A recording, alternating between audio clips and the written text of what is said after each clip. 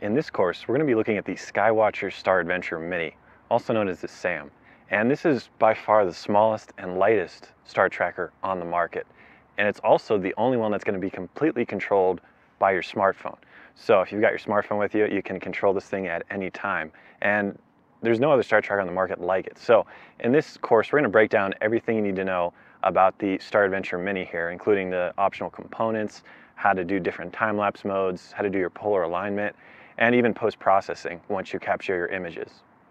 Next, let's cover what you actually get for the $300 right out of the box. So of course you're going to get the Mini here, and you're also going to get the ball head mounting adapter here.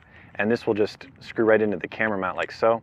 And once you take this off, you can attach your ball head directly to the screw, and then from there, your camera. So that's an essential piece there.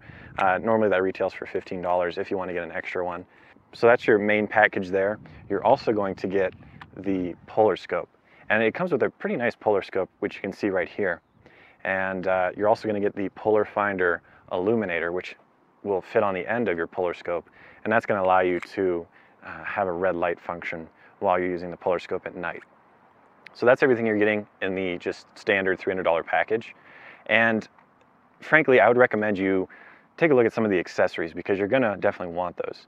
The first accessory to look at here is the Skywatcher wedge, which is uh, this whole piece right here.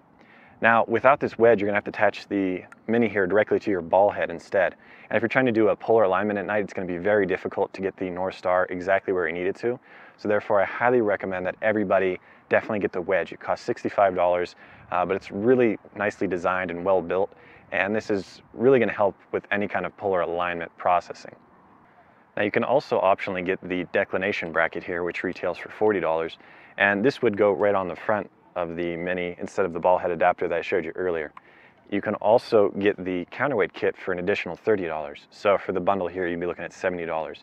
And this counterweight kit would screw in directly to the bottom of the declination bracket. And that's gonna help if you have a bigger camera setup or mainly if you wanna use a telephoto lens at night. Now personally, I don't actually recommend getting the counterweight kit and the declination bracket might even be a bit overkill. Now the reason I'm saying that is because the camera mount here is only rated for 6.6 pounds. And if you try and put any more than that on, you're gonna seriously strain the gears in there and you're not gonna get a successful star tracked image.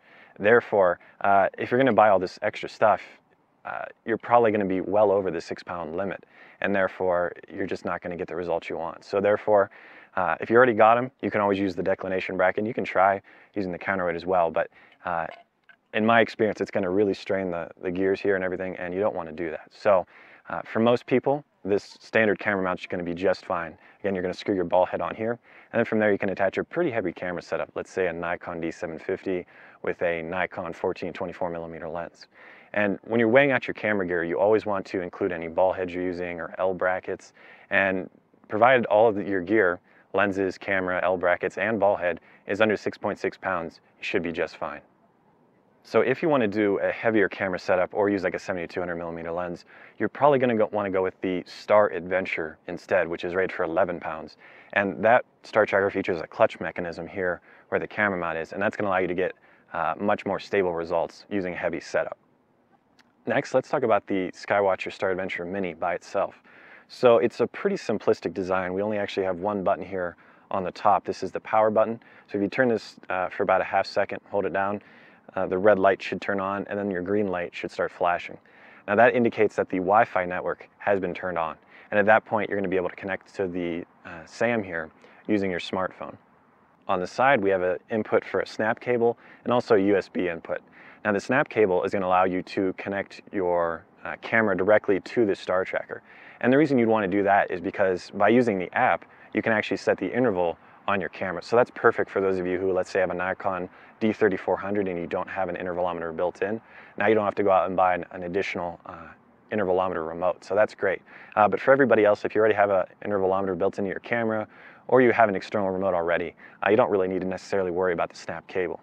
We also have the USB input, and that's going to be used to charge, uh, or rather power, the Star Tracker while you're running it. So for example, if you're near a power source, uh, let's say by your house and you're using the Mini here, you can uh, keep this thing running just by using the USB cable. Now, while we're talking about battery, if we flip it over, we have the battery compartment here. And if I open this up, you'll see that this takes two AA batteries. And in my experience, the runtime will last you multiple nights in a row without any problems. And that's really all there is to the SAM here. It's a very simplistic device, which in a way is very nice. You don't have a bunch of different buttons and dials and things to worry about. Now on the back, we have a screw hole here. This is giving you a lot of flexibility. You can always uh, attach your Star Adventurer facing up like this.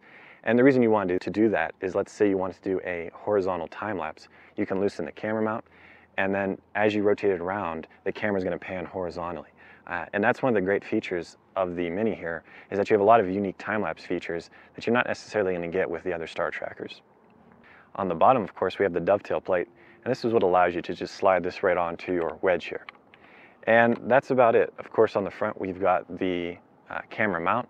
And one last thing before I forget, we also have these two notches on the top. And that's just to do a quick sight of Polaris uh, when you're doing your polar alignment. So you'd look through there and see if you could see the North Star somewhere in there. But usually that's kind of hard to do, but at least they included it for you. Next, let's talk about the wedge because again, this is something I highly recommend that everybody get because it's gonna make your life a lot easier at night. So the wedge here is just this red piece and uh, we've got a knob on the back that's gonna adjust for our latitude. So when you're using your wedge here, what you wanna do is find your current latitude and then you're gonna dial that in here on these numbers just by loosening the screw and then at that point, you can rotate the knob back here. And let's say I'm at 35 degrees north. I would just rotate this until I'm at 35. And at that point, the Mini should be angled up at the same uh, angle as the North Star. So if I put this up like that, now it should be facing up at the North Star, provided I'm pointing north, of course. And we also have two screws on the front here.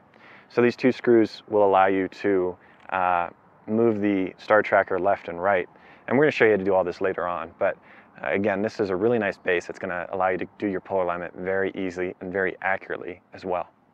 There's also a bubble level here on the mount, which is going to be perfect uh, to try and get a flat level surface because that's one of the most important things about doing your polar alignment is of course having a flat even surface.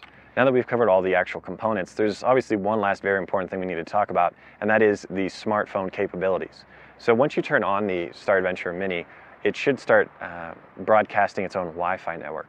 And at that point, you can pull out your smartphone and connect directly to the Mini's Wi-Fi. So I'm going to pull up my Wi-Fi here, and it should be listed as SYNSCAN Wi-Fi and a series of numbers and letters. And if you don't see it there, make sure the green light is flashing, and make sure that the uh, Star Watcher has a fresh set of batteries. And uh, at that point, you can connect directly to the Wi-Fi. Now, in my experience, I had serious trouble actually connecting and what we figured out was that in order to connect, at least on an Android phone, you want to turn your camera, or your phone rather, first to airplane mode. And when you're on airplane mode, that's going to disable your internet connection using LTE or whatever. Uh, so if you're having troubles connecting, make sure uh, you put your phone on airplane mode first. Then enable the Wi-Fi and connect to the SYNSCAN network. Next, you're going to need the SAM console app, which is a free download you can get on both Android and iPhone. Now, of course, if you've just connected to the Wi-Fi network on here, you're not going to be able to download it. So uh, before you do that, you'll probably want to get the app. And once you open up the app, you're going to see a whole series of options. But the first thing you want to do is go down to the lower left where it says not connected. And it should find your uh, device there. And you should be able to click on it. And at that point, you will be uh, connected to your Skywatcher Mini. Now, as you can see in here, we have a whole lot of different options, including different time-lapse modes, manual control, and we'll look at all those in future videos, but at least now you see how you can connect directly to the Mini. Now that we've covered all the different components in this video, in the following videos we're going to look at how to actually use the Skywatcher Star Adventurer Mini. So we're going to look at the different time-lapse modes, how to do your polar alignment, how to do your polar alignment during the day if you want to track the sun, for example, and uh, pretty much everything else you need to know about the Skywatcher Star Adventurer Mini.